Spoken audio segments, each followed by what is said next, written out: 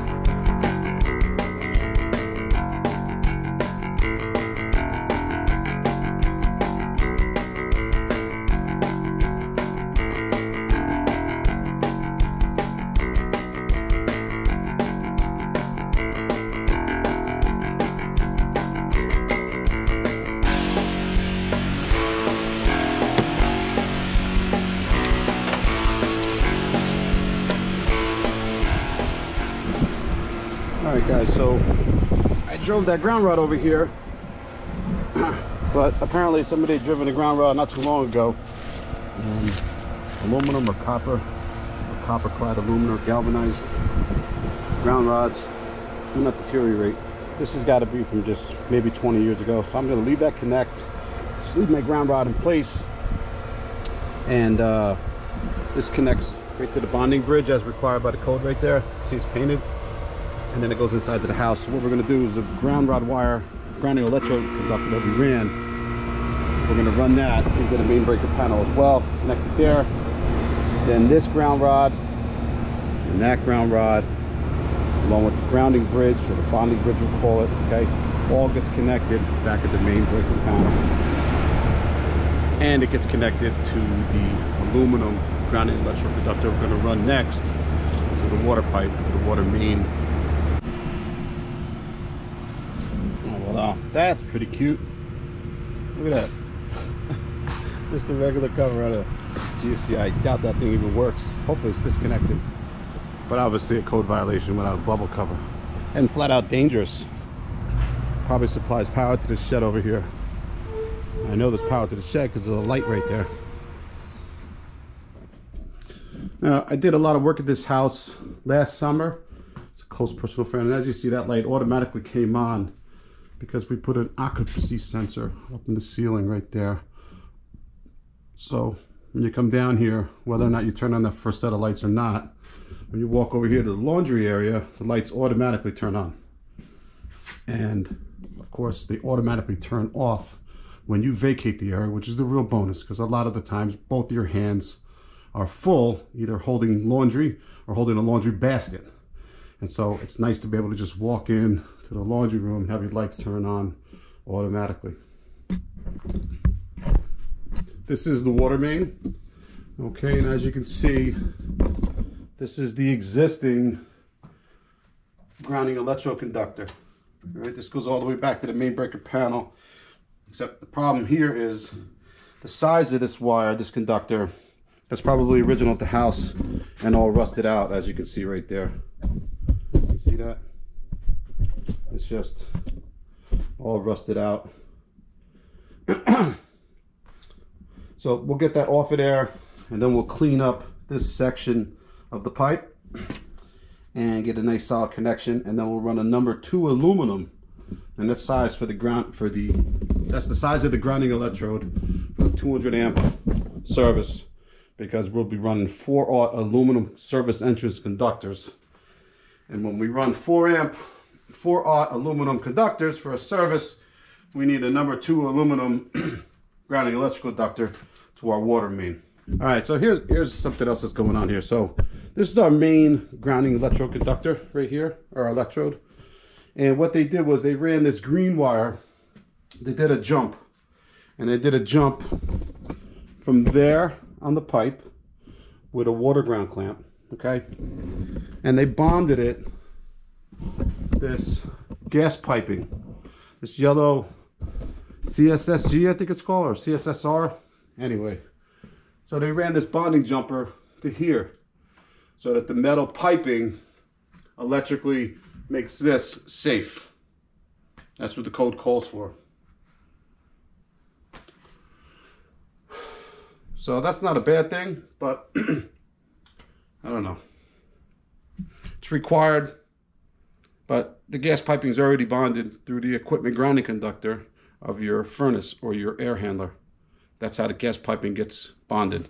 But because this is a new type of gas piping, there's some new regulations for it as well. So that's why that's required.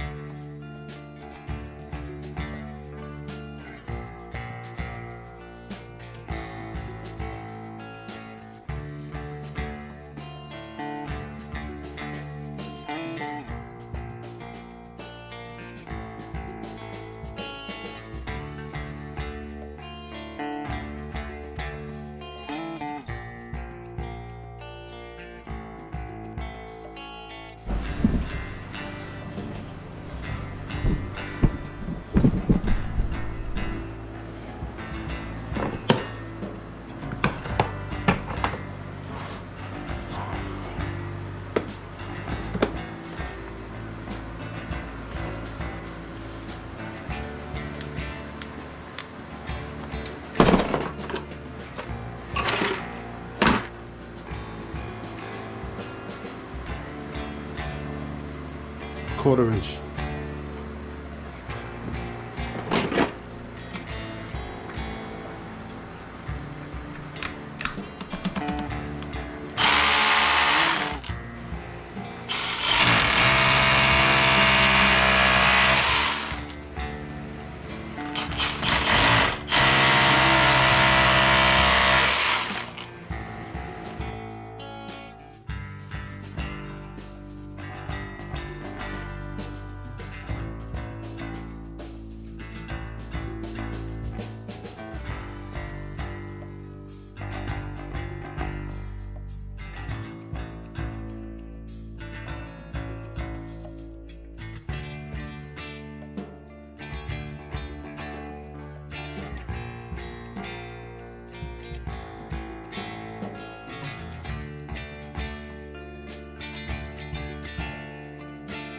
Thanks for watching this video. This concludes the grounding electrode system installation.